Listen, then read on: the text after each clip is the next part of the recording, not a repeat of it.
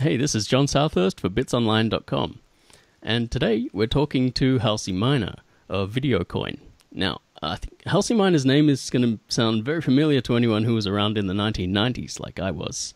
Uh, he was the founder of online media giant CNET, which is something you may have heard of. And he was also a founder and major investor in Salesforce.com and uh, Rhapsody. I think that's right. So in 2014, he entered the crypto space with a company called BitReserve, which was um, one of the probably one of the earliest attempts at kind of a Bitcoin bank or payments platform, like similar to PayPal. It's uh, it's since rebranded as Uphold, and I think you're you're still CEO of Uphold. Is that correct? No, no, it's uh, it's a direct competitor to uh, to uh, Coinbase. Oh, okay. Um, it's uh, one of the very few uh, platforms on the planet that allows you to, directly connect your U.S. and EU um, uh, bank. Uh, so uh, everyone in the United States and Europe and in other places around the world can connect their bank account directly into Uphold.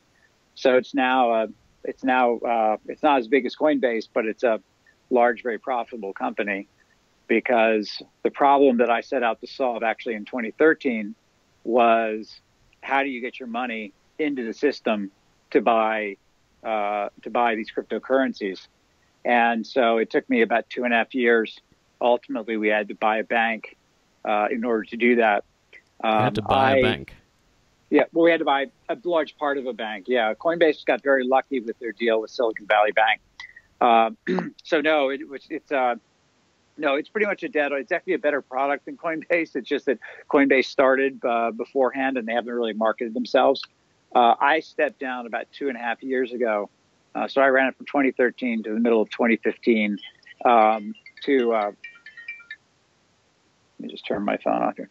Um, so, um, so yeah, I mean, I got involved in the industry around 2012, and I launched. Uh, I launched BitReserve. BitReserve was changed to Uphold because no bank would bank us if we had bit in our name.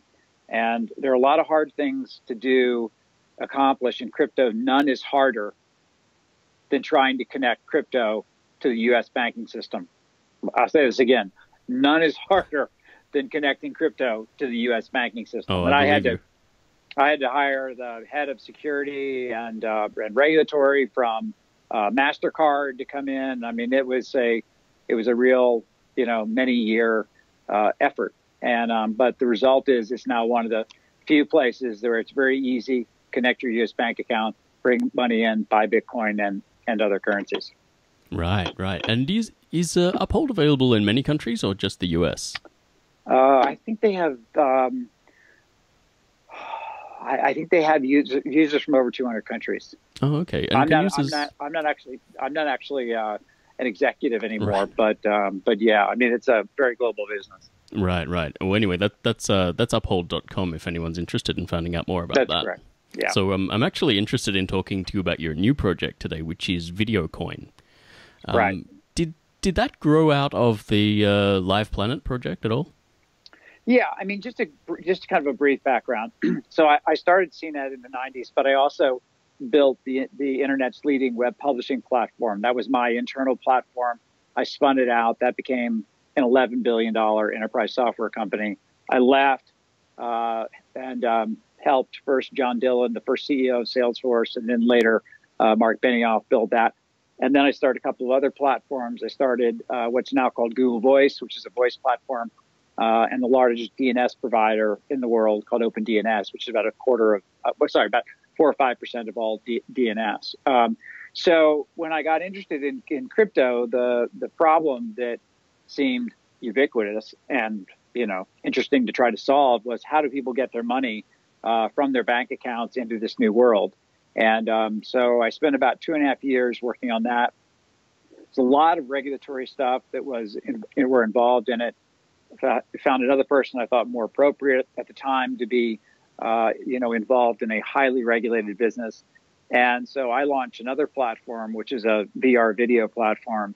Uh, it's a camera, cloud, software at the end. So it's an end to end platform and spent two and a half years building that. So I like building platforms. Um, and um, we, uh, the, it's called Live Planet. And the idea is that we want you know, to be able to essentially allow people to be anywhere around the planet live with VR, which kind of gives you the sense of of, of immersion and, and being places. Um, and just as at CNET, I had to solve a very fundamental problem around, which is how do I do web publishing? I had to solve a very fundamental problem, which was how do I take this video and process it and get it onto all these other platforms?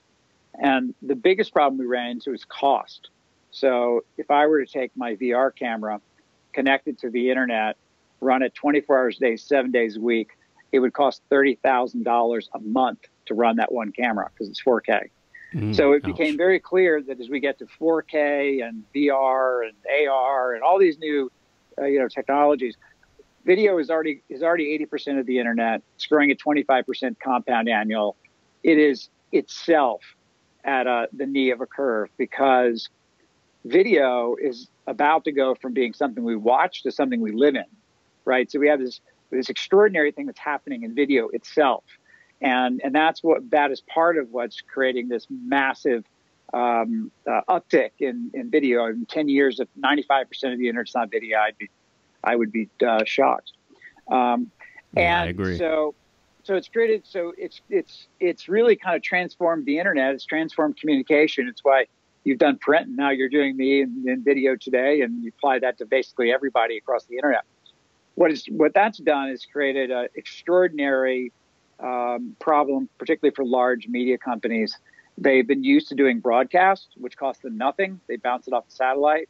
Um, and now they're having these one-to-one um, streams, which every new person that comes on costs them more money, and they don't know how to monetize it. So, what's happened is that, you know, for instance, uh, our advisor Hanno Basse, who's the the CTO of 20th Century Fox, you know, they're they're now taking content, streaming it over the internet. They're having to pay for it, but they're having a very difficult time monetizing it. So, so they're not getting new money, but they have all this new this new cost. And, and this has created a, a, significant issue because not only are they paying this money and not monetizing it, they're paying it to Amazon. And, and it's doubly problematic because Amazon is their competitor. And it's triply problematic because Amazon's most profitable business is Amazon Web Services. And it's quadruply a problem because Amazon Web Services is the business they're using to go in and basically drive all other businesses out of business. So they're doing it in retail, they're doing it in media. So if you look at Amazon Web Services, it is the beating heart of Amazon that is used to basically come in and wipe all these competitors off of uh, off of the uh, face of, of planet Earth, kind of like what's going on in the Amazon rainforest. That basically it's all being timbered. it's uh, ironically appropriate there. Well, I'm uh, I'm all in favor of uh, companies like Amazon and Facebook and Google not becoming the entire internet by themselves. Well, so am I. Mm. But I think you know I think what's happening is there's something very profound happening, which is companies like Amazon, which are really driven around the centralization of resources, um, and and and quite frankly, are, you know, are not very resource friendly. I mean, when I get all these boxes from Amazon, it's my fault. I order from them you know, it's a huge amount of waste that we're, you know, that we're creating. And I think we're moving into much more of a decentralized kind of world, not not only um, for some very good reasons. Like, you know, I mean, ultimately, I think most people believe that our power will come from our roofs, right? And we, we, we will, the whole grid will become decentralized. Um, and so there are a lot of systems that are that are actually work better when they're on a, a a decentralized basis. Our, our cells, each one, our, each of our cells is perfectly capable of of, uh, of, of, operating, um, powering itself.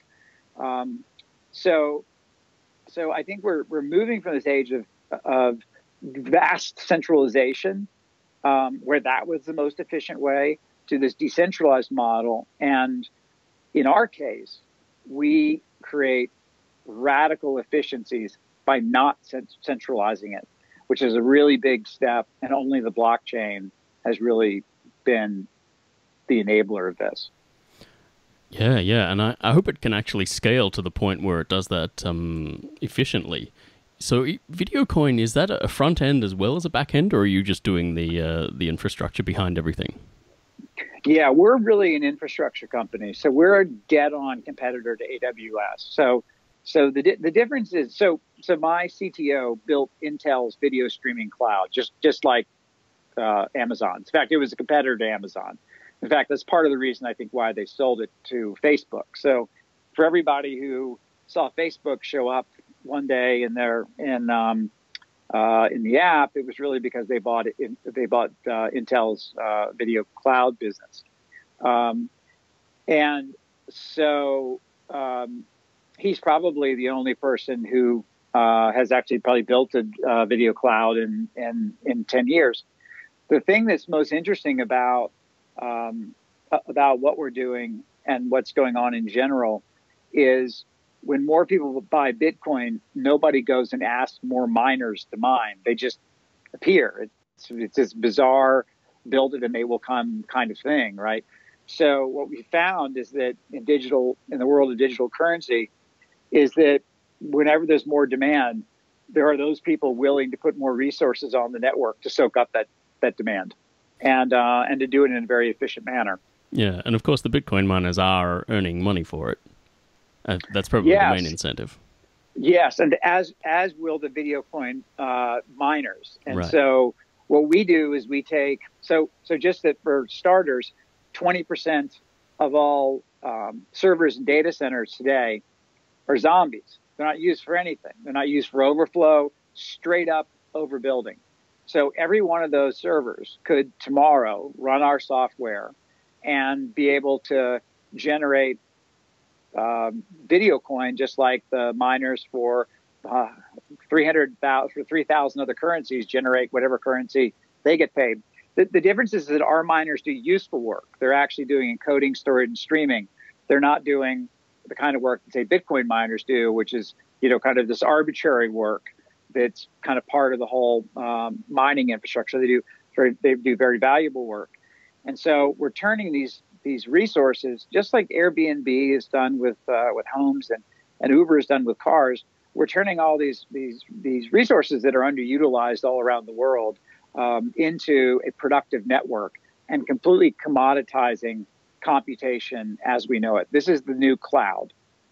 Right, I'm actually quite curious as to how this all works technically. Will your uh, will your miners actually be storing files at all, or will they be managing the network of storage or distributed so storage? There'll be, so there'll be four four things they do. There'll be encoding. People don't don't necessarily understand this, but but video requires a massive amount of processing for every device you have has multiple files at multiple bandwidths, and every device has its own file. So you're talking about enormous numbers of, of video that needs to get processed into all these different forms. It's called encoding. Um, then you've got storage. It's less of a problem. Encoding is probably the most difficult uh, and most expensive. And then you've got streaming, which is effectively bandwidth. We have a fourth um, set of miners. Uh, they're called relay miners. And what they do is they connect from our network into your existing AWS or Google network so that all of your existing infrastructure can be brought into uh, into the VideoCoin network. So we, we totally embrace what you have, and then we extend it with uh, all of these these services that are that are the same. Uh, I would say over over time they're probably going to be more innovative, uh, but dramatically lower cost. So we have a clear path for people to take what they have. They don't have to they don't have to shut down what they're doing, and they can just begin to migrate their their uh, their new um, uh, their new content onto our network. Okay, and how much of the technology behind all this actually exists now, and how much do you need to develop? Yeah, so the, the example I give is we're just like um, we're just like uh, Salesforce.com. When Salesforce.com first started, we had a CRM application. That's what you're selling, and then over time, we turned it into a, uh, a general purpose platform that allowed people to build any kind of software. So we have the first application, which is a VR app, which takes 4K video and it transcodes it to you know Facebook and YouTube and uh, Samsung and uh, and um, Facebook and I think they said Facebook, uh, Oculus Rift and etc. So we've had to build all of this uh, massive encoding in the in the cloud around a very specific app, and now we're generalizing it so that so that what we do ourselves can be a more generalized service that everybody else can uh, can take on. So, so apart from the coin part, a lot of the encoding, storage, and streaming stuff already has been put in place. Um, I, I don't want to, you know, I think people underestimate how difficult it is to build these coin architectures. You know, they, they think they get into ERC20, you know, and everything will be fine. These things are very complicated to, de- to develop, and we have a pretty significant engineering challenge to really make this work at scale, instantaneously.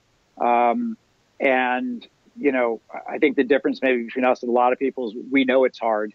Um, and, um, you know, but we have a incredibly talented team of, of engineers and we're, we're adding to them every day. Yeah, I think in this space it's better to trust someone who's even been around for uh, six years better than someone who came in last year and only knows Ethereum. Yeah, I mean, exactly. I mean, and, and I, I'm not, you know, Ethereum is sort of the idea today, but I mean, Ethereum is just a, it's a small part of what we think we have to use to build, you know, I mean, I, I compare it to like search engines during the 90s, you know, there was Lycos and Alta Vista, and then there was Yahoo, and then there was, you know, they kept going, and they, like the 15th search engine was Google, and that's when, you know, and I think we're going to see the same kind of thing with uh, with these coins like um, like Ethereum. I just think there's, you know, as people understand the use cases better, these more general purpose platforms will get better. Um, but I think right now, I don't think Ethereum comes close to scaling for the kind of things that we want to do. And that just means there's a lot of uh, a really kind of hardcore development. But I mean, you know, I just spent two and a half years building an end-to-end VR platform with hardware, cloud, and apps. So, you know, I, am not afraid to take on, um, you know, a difficult. Um, in fact, I, have never been afraid to take on difficult uh, engineering challenges. In fact, it's it's, uh, it's kind of what drives me. That's for certain. Yeah. So um, I want to move on to the the token aspect of this now. You you're going to have a token called Video Coin. Is that right? It's the name of the platform and the token. That's yeah. It's a Video Coin network, and yeah, it's called Video Coin. Okay, That's correct. Cool. And it will run on its own independent blockchain. It will. Okay. That's correct. And uh, data blockchain you're you're going to raise funds for this by doing uh, an ICO, which is uh, uh which is the way things are done now. You you actually pioneered that in a way because you did a crowd fund for uh, BitReserve a few years ago, right? I, I did a bit reserve, I bit, did a crowd fund for BitReserve, and I also had a company that I invested in um, called the Voxel that did a that did a an ICO way back in in uh, in 2015. So I watched those guys, uh, you know, go through their uh, their process. Um, so yeah, I mean, you know, I've been I've kind of seen this industry from every point of view. You know, having started really in 2012, um, and I've seen it mature. But yeah, I mean, it's gone from I think when the Voxel went out and raised, you know, they got five hundred thousand dollars, and you know, after that somebody got six million, and that was a big deal. Wow. Um, you know, obviously it's uh, it's very different today. But yeah, so so we're raising um, 50 million. Um, we're pretty close to. I mean, we're probably done if we, depending upon how we want to do this. Um, we have um, I, most, if not all, of the big global, the best names in um, uh, in crypto investing. We'll be announcing them relatively shortly. Um, we're really right now trying to decide whether we want to have a public component to our sale. Um, oh, okay. we, we don't need to, um, but it's more of a philosophical um, conversation that we're having uh, right, around it. Is the is the token you're using in the ICO going to be the same token you use on the platform? That's the uh, the video coin token, or is it something different? The token that we that will initially be offered will work on on our platform. So it will work on the Live Planet platform. Um, when we create a more generalized platform that that everyone can use and, and, and build on top of, probably a year after the uh, the ICO, um, we will we will swap out the token, the initial token that we provide, and we'll provide the the new token that we've built. Uh, because we have an existing service today, um, we're we're a true utility token. Uh, we can actually issue the token. People can actually use it uh, for an application. um, ultimately it'll be one of many applications that runs on the network. Um, so, so we'll issue a token uh, very shortly after the ICO, and and hopefully be trading relatively quickly after the ICO as well. Okay, good. And uh, I, I was going to ask you more about uh, the team you've assembled there. I think a lot of people are going to trust you to build this more than just about anyone else. But um, you uh, you mentioned briefly before that you had some pretty high powered people with uh, with lots of experience in this field working for you. Who have you who have you got there? Yeah, no, it's kind of you know I of course have a lot of experience both in the industry and, and building other companies, and uh, my CTO built um, Intel's um, video streaming cloud, um, and then he went to Cloudera where he architected um, these um, uh, very um, large scale distributed systems. Um, and then a lot of the engineers we have are all, um, we have some of the top video engineers in the world. A number of them also came from, a number of them also came from, uh, from Intel as well. And we have a, we have a great advisory board. Um, the CTO of 20th Century Fox um, is, uh, is one of our advisors. Um, he's super helpful advisor, brilliant guy, Hanno Basse. Um, and Ted Schilowitz, who's uh, the head of of innovation at uh, Paramount, who reports to the to the CEO, um, and a couple of other people who are really well known um, in the and very well respected in the in the media industry. Um, and um, Seth um, is Seth Shapiro is not only uh, incredibly well respected in it's kind of a, it's kind of a very odd set of skills now. He's um, if you read his bio, he's probably nobody in media that he hasn't uh, at some point consulted for about you know new technologies. But he also happened to get very interested in crypto about a year and a half ago, so he, he knows that space as uh, he knows that space as as, as well. Um, you know, I think we have a bunch of people who are you know really serious developers who have experience um, uh, in already in in doing blockchain oriented uh, projects that we'll we'll bring in. I think we still need probably to hire another 10 to 12 engineers um, to to do this. So we're we're by no means done. Um, so yeah, I mean, look, we're we're. I mean, if you look at my background, I mean, um, uh, you know, when I left CNET, we were a Nasdaq 100 company. Um, and that was during the bubble, and I left to to uh, help Mark start Salesforce, which is a Fortune 500 company. Um, and the first company I started in this industry is uh, profitable um, and successful and, and, growing very quickly. So yeah, I mean, our we're we're not in a position where we can just go run off uh, and uh, and nobody hears from us again. I mean, we're all um, we're all very well respected in our in our respective areas and um, have a long history of of delivering complex systems that are disruptive. And um, you know, we we take this as seriously as anything else we've ever done before. In fact, we actually think the opportunity is is uh, is extraordinary. I I, I can say this because I was actually around for the for the first internet. Yeah. I, in many ways, this is is to me as important as the original internet. It's like way I look at it, the original internet was just all about information. Mm-hmm. Now with the blockchain, you can you can exchange information and value, you know, at the same time, which is really, you know, a very revolutionary idea. Yeah, um, sure. Just um, one thing we ask everything everyone who's in the the distributed storage space and especially content delivery as well what are you going to do about uh, things like uh, illegal content or uh, censorship? Uh, is that, are those issues you're going to address? You, is there going to be any moderation at all, or is it going to be completely, uh, completely decentralized, in that anyone can put up anything they like? You know, I wish I could tell you that we had a magic bullet for this, but I have to put nobody has a, has a magic bullet for this. That's a hard problem. Um, yeah, I mean, it's one of those problems. It's it, it's it's uh, you know it's uh, it's not intractable, but you can build. You know, we can build ways of compensating people for finding. I mean, there really are, are there's really illegal content. Um, that's a bit of a problem. Like, there's some content that's sort of universally illegal, like you know, child pornography, for instance.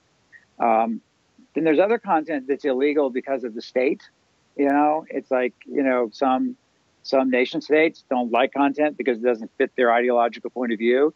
So like, how do you protect that? Because obviously that's a big part of you know uh, of being able to build something that's decentralized. And then there's the uh, the theft of copyrights, and um, you know you need to be able to identify those. And we have some ways that we're uh, that we're thinking about doing it. My guess is we'll probably employ multiple ways. Um, you know, having a compensation model where people are rewarded for for finding uh, content um, and creating some kind of uh, community mechanism for removing it. Um, but it's not a problem that AWS or anybody has completely solved.